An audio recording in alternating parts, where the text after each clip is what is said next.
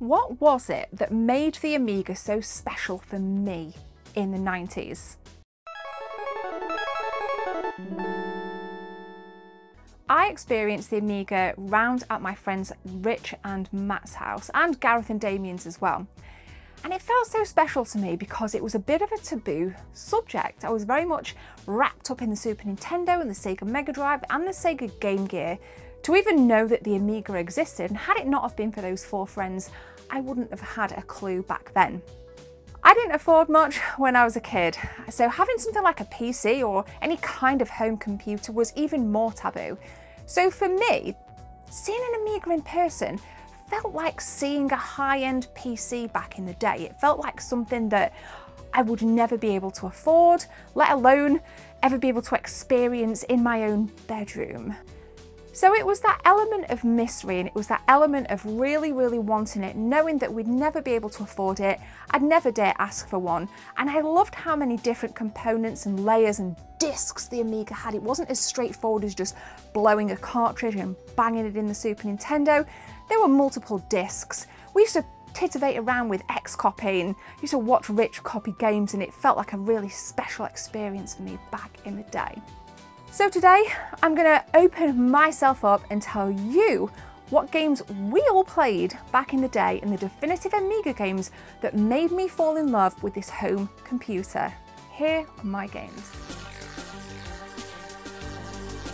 Do you remember those kinds of games when you'd enter a friend's bedroom and there'd be a bunk bed and everyone would pile on the bottom bunk, either watching or playing an Amiga game? Well, for me, Alien Breed was that bottom bunk video game. I remember playing this profusely and I was fascinated by the pixel art and that whole top down, like, just look at it. I was mesmerized by it back then. And I recall this game being the game that made me want to have an Amiga in our house for a very long time. Now, I mentioned in the intro that I never had my own Amiga as a little girl. It was always round at my friends' houses, and I am forever grateful to Gareth, Damien, Matt, and Rich for introducing me to the Amiga. So, this is a very special game, and it was one of the earlier games that I remember seeing and playing for myself.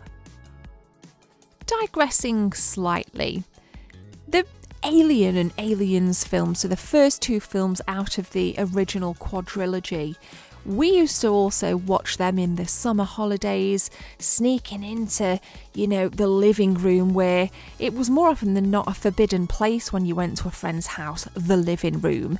You know, it was always filled with parents or it was empty and you weren't to go in there.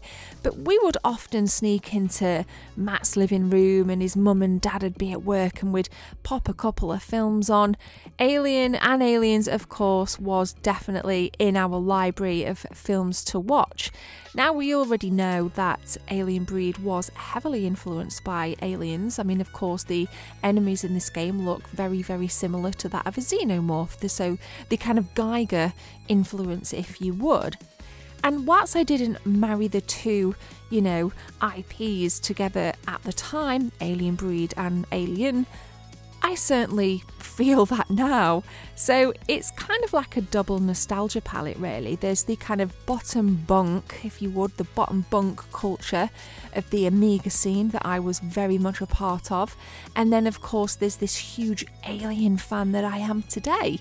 So I would go as far as to say that Alien Breed, particularly this first game, was and still is my absolute favourite of the entire Amiga scene. And of course, Team 17 is still going incredibly strong today. So I have a lot really to, to thank Team 17 for. And I do have a lot to thank those four friends for. So thanks, guys. Maybe one day, um, you know, Matt, Damo, and Gaz can feature in an upcoming video. I've been thinking about that for quite some time. So fingers crossed. Um, in fact, I'll reach out to them and maybe we can do a gaming memories video together.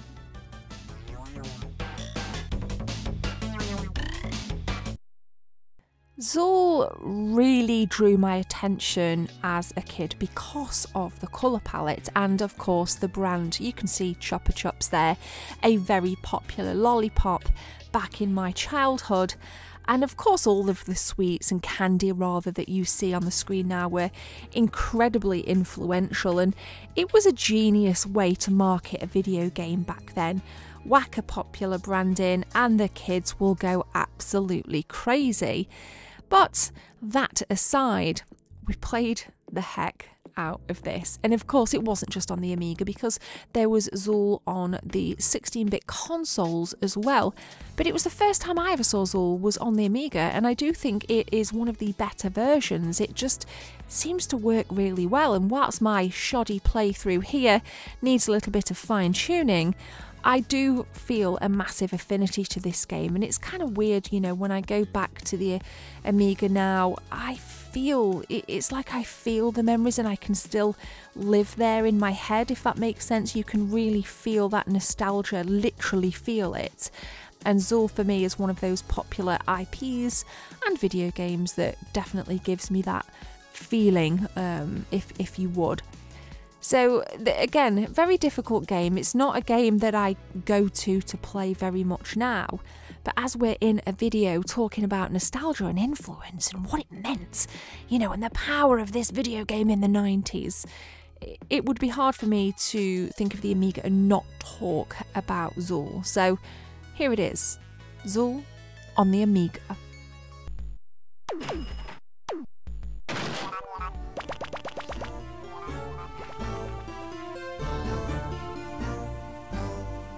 Here's one for you then. Who remembers Quick Save back in the day? Well, when my grandma used to take me to Quick Save, they used to have this toy section all the way in the back. And every Friday, as I'd be next to her as she went shopping, I would pray that she'd buy me a toy. And I remember one time that they had these pinball, plasticky, really cheap, tacky pinball toys. Pinball machine, for want of a better description and she actually bought it for me. And I was like, this was my first introduction to pinball, if you would, a cheap, tacky plastic piece of crud from Quick Save.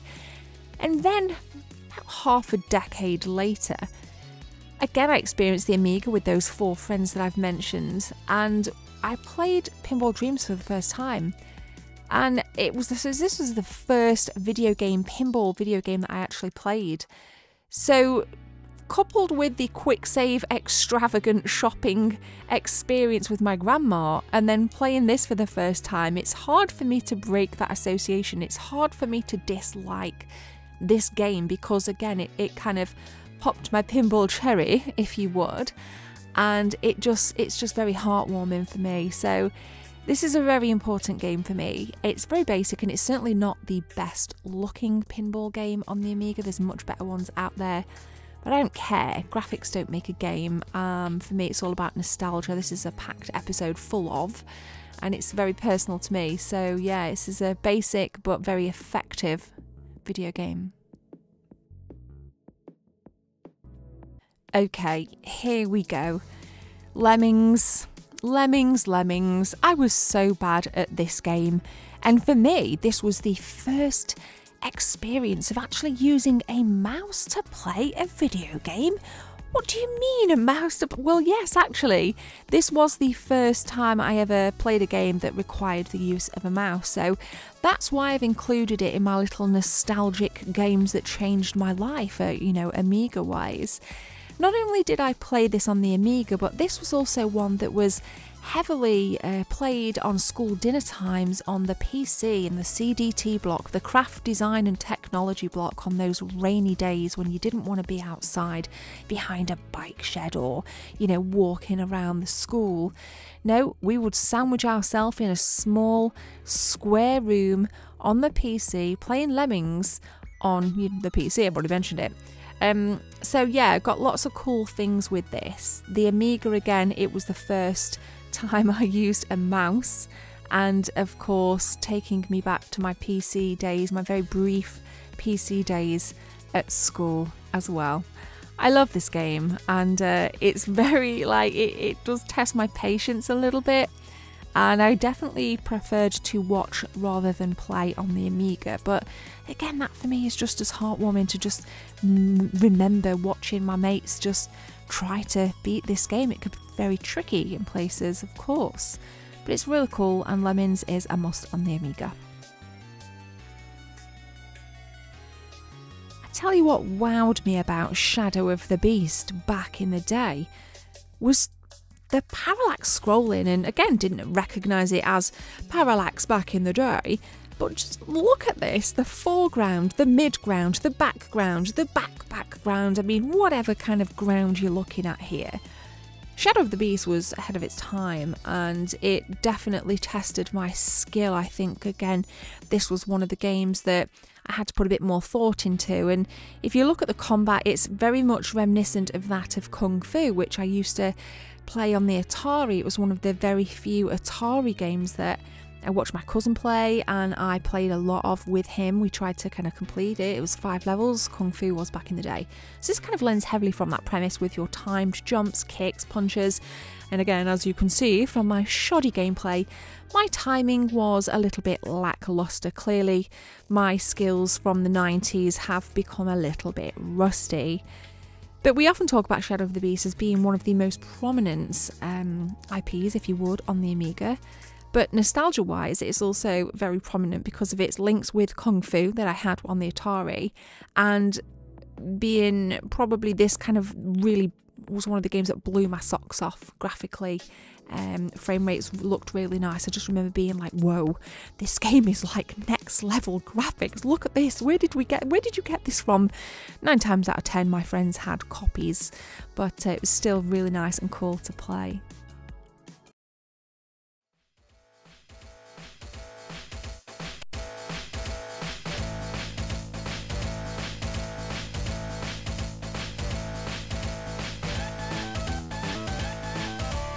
Okay, I just had to let that little intro clip there play a bit longer so you could really appreciate the musical, fantastic score of Chuck Rock. I actually played this with a friend called Paul, so we're kind of deviating from, you know, Matt, Rich, Gareth, and Damien. Um, and it's actually on the Mega Drive, believe it or not. But when I kind of found out that this had an Amiga release as well, I knew I absolutely had to play it because I, I really did enjoy it on the Ami- um, sorry on the Mega Drive. And I think again, a little bit like Shadow of the Beast, what really drew me was just how good the graphics were and the character and sprite animations. Now, I've long said that I've been a huge fan of pixel art. Pixel art fascinates me today. Even my YouTube banner is pixel art. Everything, my character, my logo, is all pixel art and I think I was drawn to this back on the Amiga. And it does look really good on the Amiga, as you can see, because of the nice finesse with the characters. So, getting a little bit tricky in places, but one that I definitely enjoyed the hell out of. I remember playing this for hours, having some kind of marathon. I don't even remember which friend it was with, but we had a massive Chuck, Chuck Rock marathon one day. Um, it was really cool, I think I got in trouble for being home late well, it wasn't my fault, it was Chuck Rock's fault. But uh, yeah, loads of really nice, shiny, warm memories playing this.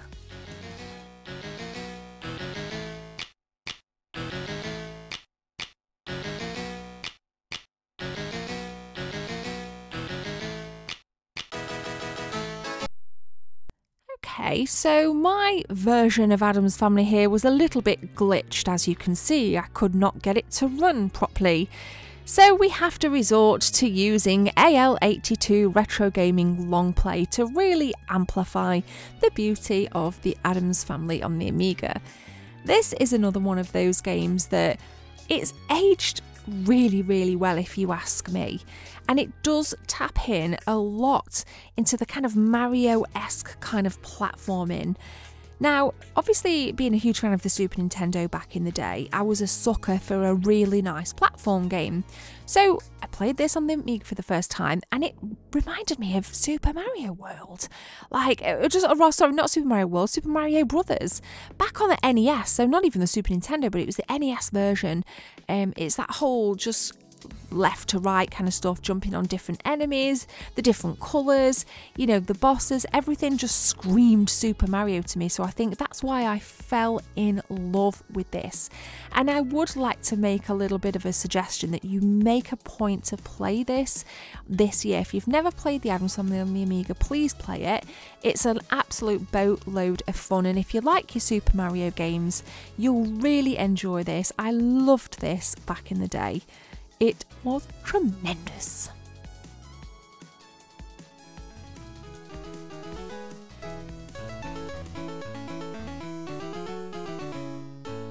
Jimmy White's Whirlwind Snooker. Don't judge me on the gameplay you're about to see here because Jimmy pretty much whips my butt, but it makes for decent gameplay, so I thought I'd leave it in just to let this voiceover roll. This blew me away. I never thought I'd like a snooker game, but seeing this for the first time, I was like, wait a minute. You know, it reminded me of the Sunday boring television that my granddad used to watch really late on, and I was like, hmm, this is terrible. But the more I watched snooker, the more I actually really freaking enjoyed it.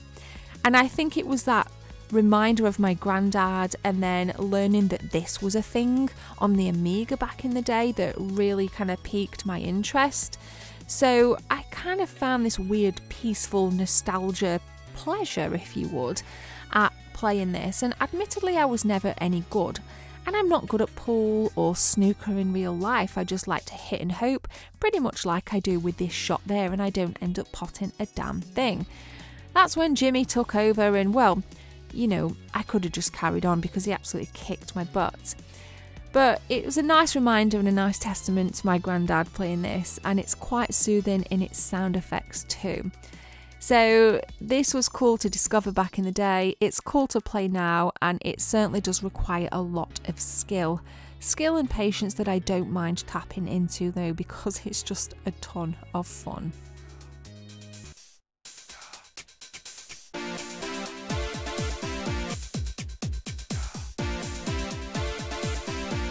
Okay, so I remember that Matt and Richard had an older brother called John, and he had his own bedroom, and it was very, very rare you were allowed anywhere near John. Don't go near John's bedroom.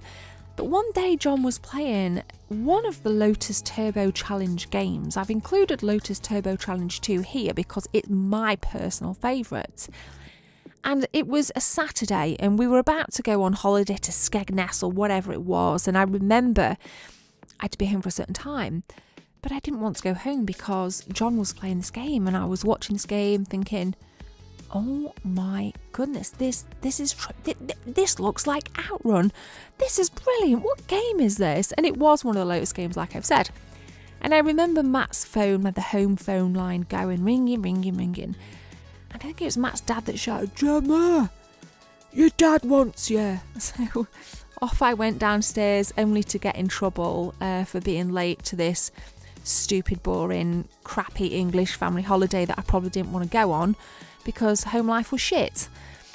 But I went anyway, and I'll kind of, it was a weird one. I just wanted, I would have much rather have stayed and watched like John play this for the rest of the weekend as far as I was concerned. So when I got a bit older, I had a SNES and I had Top Gear, and of course, that's very heavily modelled. Top Gear was very much modelled on Lotus Turbo Challenge, so I played that game because I couldn't afford an Amiga, so it was kind of my way to be in tune with this game by playing Top Gear on the Super Nintendo.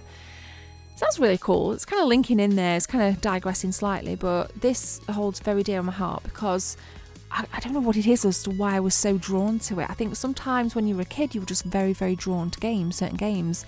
And I was drawn to this, and I can't really articulate why, because on the face of things, it's pretty basic. It's a racing game that doesn't really require much skill. So, yeah, that's my little story about the Lotus Turbo Challenge. Well, it's a great trilogy overall, it's awesome.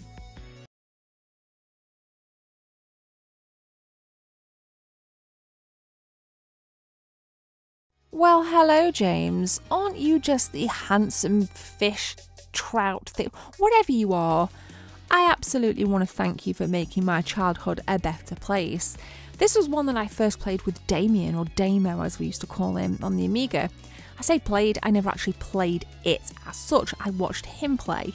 It was very eclectic, and I don't know, again, it was maybe the colour palette that drew me in, and just how crazy it was that you were this COD character that you know, I think the Amiga wanted so badly to have a mascot, whether it was Zool or James Pond, and I don't ever think it quite came off. Of course, there was Super Frog as well, that is, I guess, a little bit similar to James Pond because it's quite eccentric.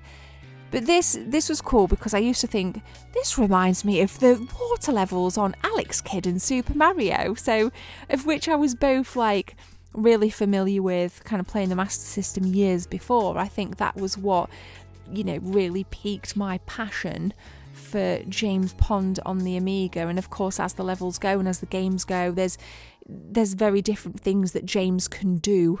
You know, he used to be able to stretch really high in, in, in one game, and it, it was just like, this is crazy, and I love it, and I don't know why, but you know, it was a bit Alex Kiddish to me.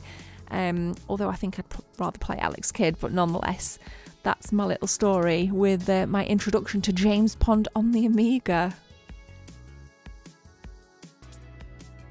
Discovering Theme Park for the first time, you guess it, was on an Amiga. And I remember thinking that this felt so futuristic and next level to think that I could create something this cool and as a kid, theme parks were like a huge thing. You know, if you got an opportunity to go to the American Adventure or to Alton Towers as a kid, it was like it, it was just huge to me. It, was huge because we, we, we, aside from the American Adventure, which was a theme park local to us, we, we very rarely went. So going there was a real treat. Now, me sitting down to watch my friends play this on an Amiga was was just it just it absolutely blew my mind. I could not conceptualize how cool this was. It, I kind of felt rich even having an opportunity to play this. I felt special, I felt wonderful, I felt important actually. So it sounds kind of weird, and I'm probably rambling on and, and just kind of going off on one here, but I, will I'll never forget that. And it, and it was from from theme park that I actually started to discover simulation games such as SimCity. I loved that on the Super Nintendo, and then you know I, I got to play SimCity later on down in the PC. So for me, playing theme park on the first time on the Amiga was was revolutionary because it made me realise how much I love simulation games. And even today, playing. Um, oh, I forgot the name of the game. It's it's one of I'll, I'll, put it on screen now, but this is also a great game if you get an opportunity to play this on you know next gen consoles. So. Theme Park's a, a cult classic. It's certainly a gem classic in my curriculum vitae of gaming and one that I'll never forget.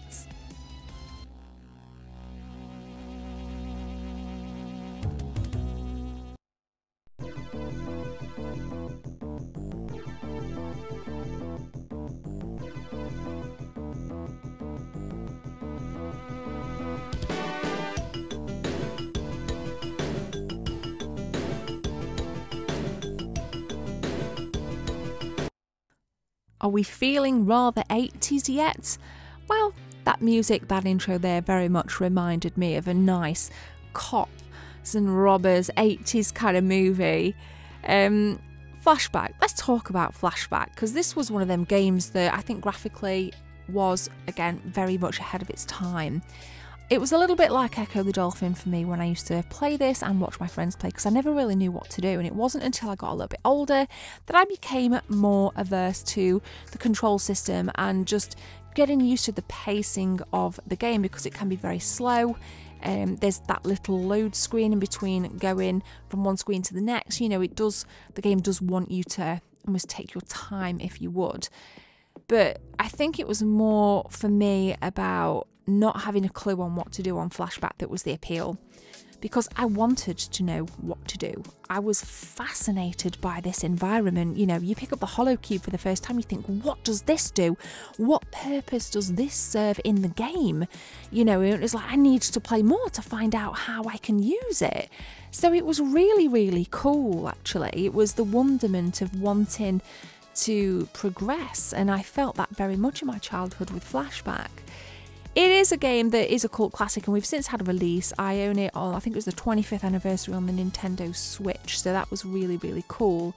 But again, it first came to me through the power of the British gaming scene.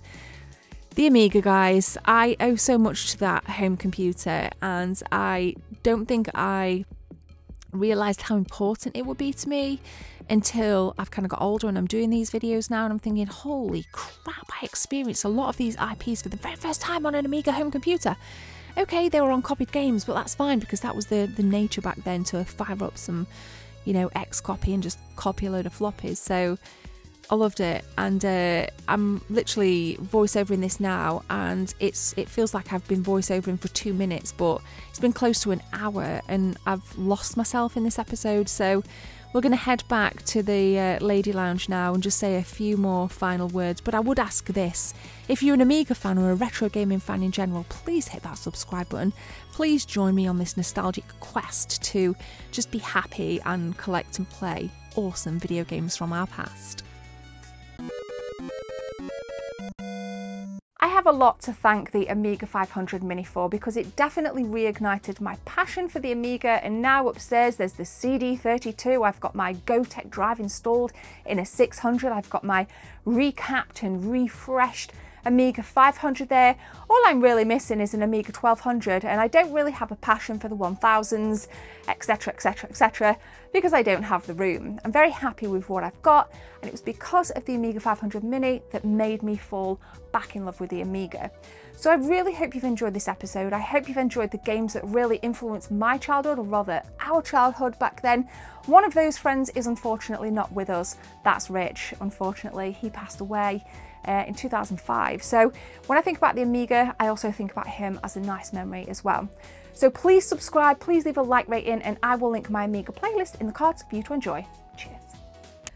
I need a few seconds of your time to tell you about channel memberships. If you guys want to become a channel member, click join from the main page or the second link in the description. There are three tiers, all with different perks for you if you want to become a team member. Thanks for your time. Let's continue with the video.